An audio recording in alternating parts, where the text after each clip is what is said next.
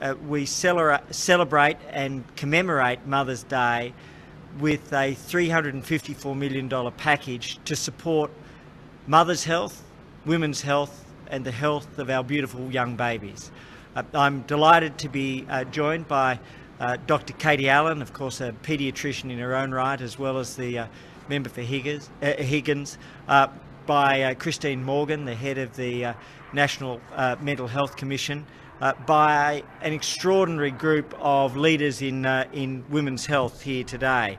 Uh, by uh, Professor uh, Jeannie Chong from the Royal Women's Hospital, uh, Susan Evans, Chair of the Pelvic Pain Foundation, Kirsty Mead uh, from the Pelvic Pain Foundation, Janet Michelmore from Jean Hailes for Women's Health, uh, Kirsten Pilati and Catherine Fagg uh, from the Breast Cancer Network of Australia, uh, uh Vaze Jovanovska, uh, the CEO of RANZCOG, uh, and Dr Jenny Dowd, the Victorian Councillor from RANZCOG um, as well as uh, Professor John Newnham, a former Senior Australian of the Year, uh, the Chair of the Australian uh, Preterm Birth Prevention Alliance, and uh, Greg Hall and the uh, amazing team uh, here at Frances Perry. so to, to see our doctors, our nurses, our midwives in action is to see the best of Australia. Um, my mum was a midwife and she would be just thrilled to see these beautiful babies being born and brought into the world and here on Mother's Day. Uh, and everybody uh, is uh, thrilled by the gift of new life. And so today uh, we're announcing a Mother's Day package of women's health support measures. And uh, I'll uh, run through them very briefly and then invite others to speak the $354 million starts with support for premature uh, birth and overcoming the challenges and the problems of premature birth. That includes $13.7 million for um, the Australian Preterm Birth Prevention Alliance. And uh, what we know is that uh, premature birth can affect 8% of births around Australia and twice that number in Indigenous Australia. And John Newnham and his team uh, know very well about the impacts on development and health uh, and uh, all of the consequences. And their trial work is now being expanded around Australia. It's as simple as saving lives and protecting lives for mums and bubs. Um, the uh, additional thing is that there's $19 million for a uh, new PBS listing, uh, Oripro, and uh, this will help over 14,000 patients have access to a new medicine uh, which will assist in helping to prevent premature birth. It's hard to imagine a more important medicine. In terms of mental health and eating disorders, uh, both for uh, mums and also for uh, uh particularly young women, but uh, women of all ages, uh, there's a $74 million package. we know that perinatal mental health uh, can have an enormous toll. In many ways, it's still a hidden condition, and we have to help support it, but bring it into the light. Um, and so, uh, in particular, there, uh, what we have is uh, $47 million for perinatal mental health to help expectant mums uh, and uh, mums who have given birth deal with the challenge, which is natural, which is biological, which comes with all of uh, the great joys of being a new or expectant mum, there is a real challenge of perinatal anxiety and depression, and uh, this support will help save lives and improve lives. Equally, um, a real personal personal passion is eating disorders, and uh, we know that uh, eating disorders can affect up to uh, a million uh, people in Australia, overwhelmingly women, in particular young women, and uh, it has one of the highest mortality rates of any of the mental health conditions. So there's $27 million uh, to expand and extend support for eating disorders. And um, this has been a hidden condition in Australia, and we're helping to bring it into the, the light uh, along with uh, perinatal mental health. Um, related to, to this, of course, is uh, breast and cervical cancer. We lose almost 3,500 women a year to these two conditions. We nevertheless have some of the highest survival rates in the world, but uh, there's $110 million to support the fight against breast and cervical cancer um, in Australia. We are on track by 2035 to be potentially the first country in the world to eliminate cervical cancer. The combination of our vaccine, uh, of Gardasil, um, now Gardasil 9, uh, of our uh, vaccination program and our screening program, uh, this gives real help uh, for Australia to save lives and protect lives, but also to be a world leader. Um, in addition to that, uh, with regards to breast cancer, which itself takes over 3,000 uh, beautiful women every year, uh, there is $6.6 uh, million dollars to the amazing breast cancer network of, of Australia. You, you do an extraordinary job. Uh, and uh, in particular, we're expanding the breast screen program to, it will now cover ages 40 to, to 74 on a permanent basis. and uh, this will give better access for more women, and uh, more women uh, will have access to mammograms, and uh, that often in itself is important. Another critical thing is uh, $21 million for endometriosis and uh, other related women's health conditions. Endometriosis, until recently, has been largely unspoken of in public life in Australia, but again, for an extraordinary number of Australian women, it can be a painful, agonising, debilitating condition. And this $21 million of funding, um, in particular to expand the Pep Talk program, uh, which will talk uh, to uh, not just uh, uh, girls and young women in schools, but also to, uh, to boys and young men, to give that education right around Australia. will make a real difference and will hopefully lead to better treatment, uh, to better support, to better understanding, and to earlier diagnosis. Um, and then uh, uh, finally, uh, there's uh, uh, new MBS listings or Medicare listings of just over $91 million, largely for birth related treatments, in particular, earlier access to IVF programs.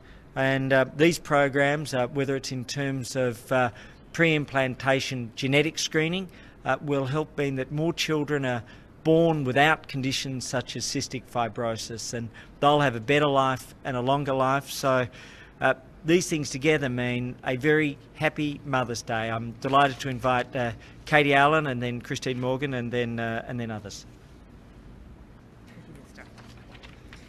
Thank you, and isn't it wonderful to, be here on a, a, beautiful Mother's Day at, at Frances Perry House? Congratulations to all of those of you here today who've helped uh, bring these sets of announcements to the table because as a government we care, as you do, about the health and well-being not only of all Australians but particularly today on Mother's Day, it's about women's health. And of course, not every woman is a mother, but every woman has a mother. And today, on Mother's Day, I think it's wonderful to hear about some particular issues that I'm particularly passionate about, and that is uh, perinatal anxiety and depression. As a paediatrician caring for young mothers and fathers, I know the toll that those early weeks and months of sleeplessness, of anxiety and worry not knowing what to do necessarily, it's wonderful to know that the federal government, the Morrison government, has the back of young families as they navigate these incredibly difficult early weeks and months. Whether you're a new mum or you've had many children, it's a really tough few weeks and months. And we've heard today from some beautiful young mums with their babies born today on Mother's Day. Sadie, a beautiful baby born today, my from a constituent in my electorate. And I'm so delighted that the federal government is delivering funding to support uh, better a better hotline. So we already have a hotline, but there's been a massive increase during COVID, and I know this because um, maternal health services were under um, lockdown themselves, and so mothers were, were reaching out for helplines, and it was wonderful that we could provide that extra support through the very difficult stages that they were, were experiencing as young mums through COVID. And the calls to the hotline doubled during COVID in 2020, and they've remained elevated. So mums have found this hotline. It's fantastic that they're using it, and they're now increased resources to make sure that that goes on into the future. The other thing we're doing is providing more funding for the Centre of Perinatal Excellence, COPE, to improve national access to perinatal mental health screening. Sometimes it can feel so lonely when you're at home with your new baby, everyone's gone uh, back about their normal activities again, and the flowers have gone, the flowers are actually wilting, um, and people need that help. So it's wonderful that there is now extra funding provided to ensure that perinatal mental health screening uh, is available uh, for Australian mums. And lastly, we need to know what we're doing and how we're doing and how to do it better. So I'm um, delighted that there's extra funding for the Australian Institute of Health Welfare, uh, Health Welfare to develop and manage a perinatal mental health data set because you can't manage what you don't know. So it's important that we measure uh, and manage better to prevent uh, mental health issues as they arise in those really beautiful first few weeks and months after families have had their baby. So I'm delighted with these new announcements today. Thank you, Mr Greg Hunt, for what you're doing. Christine Morgan. Thank you. Thank you, and what wonderful news. And I would just like to add my special um, Happy Mother's Day to all mums. Uh, we absolutely wouldn't be here without them, as we all know. Um, and look, it is my real pleasure to be able today to talk uh, for a few minutes towards some new initiatives which are being funded around eating disorders. Um, couple of things I'd like to say about that. Firstly, it is under this government that we saw some very, very significant um, initiatives being introduced for eating disorders. As the Minister has said, eating disorders for many years has been seen as a lifestyle choice, and we now know it is not. It is a killer. It kills approximately 650 Australians every year. And that is a harsh reality. It is a very complex neuropsychiatric disorder. One of the things that was introduced by the Minister and by the Prime Minister was a specific MBS number for eating disorders. That has taken us a long way further. But what we're now seeing the government do is to not stop at that, but actually continue its investment as we continue to seek to improve the, the lot and actually to make sure that people, if they have an eating disorder, can be made well. So in this area, what are we doing? Firstly, we are trying to ensure that anybody who works with somebody with an eating disorder is credentialed. We want absolutely top notch training. So, resources are going into making sure that we've got the training, we've got the practice standards, and we've got the, the website which tells us who can do this properly. Second thing, during the uh, COVID, not only did we see an increase in the perinatal side of things, but we actually saw a significant increase in the presentation of eating disorders, not just in community but in hospital presentations. So, another initiative that we're investing in is what we call a brief intervention. We're going to be training our mental health workers in our community settings, so in our adult mental health centres, in Headspace, in other places, so they can actually know what to do. And they can either give that early intervention for somebody early in episode, or for somebody who's got a longer wait time, we can actually do something effective until they can get into the treatment they need. We're looking to increase community access for treatment. We'll be working with all of the jurisdictions to see if not only in addition to the residentials, which have been a commitment of this government, we can actually also get some daycare centres, some day daycare centres in as well. We're not forgetting carers. They're a critical part of recovery and treatment for somebody with an eating disorder. So Eating Disorders Families Australia, EDFA, which is a fantastic organisation, has a program called Strive, where they seek to provide mentoring and peer support for carers. That is receiving an additional boost. And then something incredibly special incredibly special. $13 million is being invested in the National Eating Disorders Research Centre. There is so much that we know now about eating disorders, but still so much that we don't know. And this funding will enable a research centre of excellence to be established for eating disorders.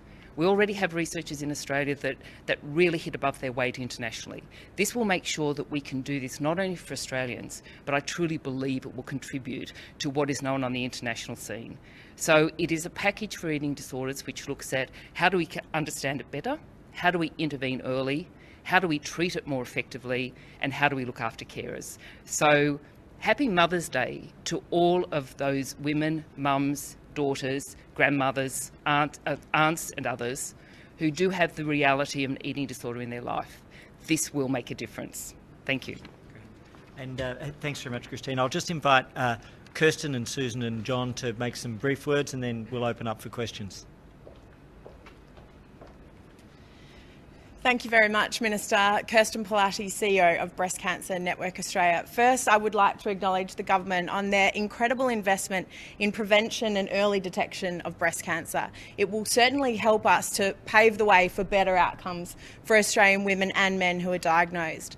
But not only that, you've taken the next step forward in supporting Breast Cancer Network Australia to deliver support services so that we can let the hospital system look after the treatment and care of patients, but BCNA can be here to make sure the emotional well-being of Australians are looked after.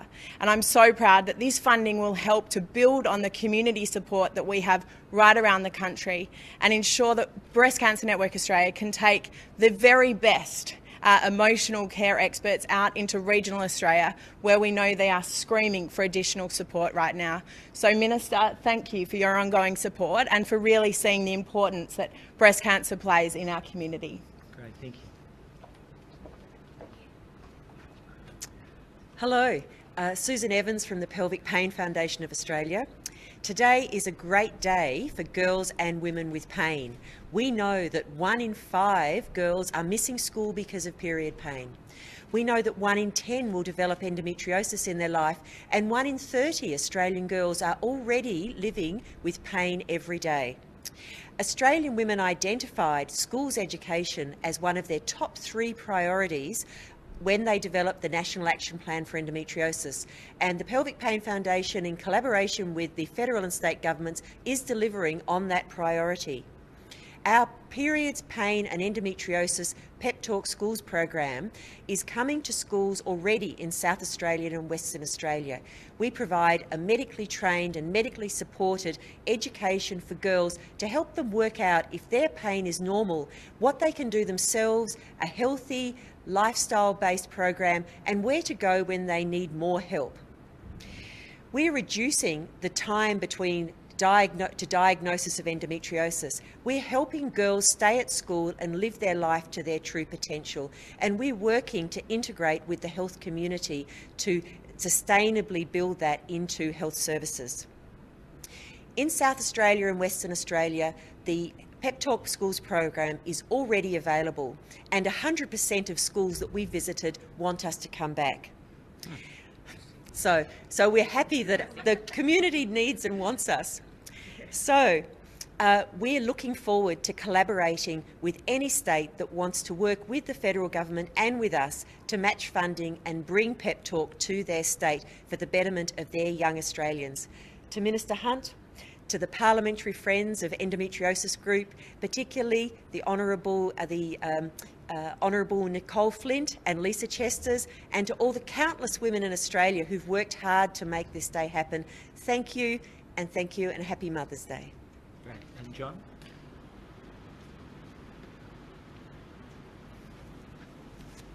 Uh, good morning, everybody, and happy Mother's Day. Minister, I'd like to thank you very much on behalf of the Australian Preterm Birth Prevention Alliance for this fantastic support. It is very important and we will spend every dollar with great care. Preterm birth is the single greatest cause of death in young children in our society and all similar societies. It is also one of the major causes of lifelong disability.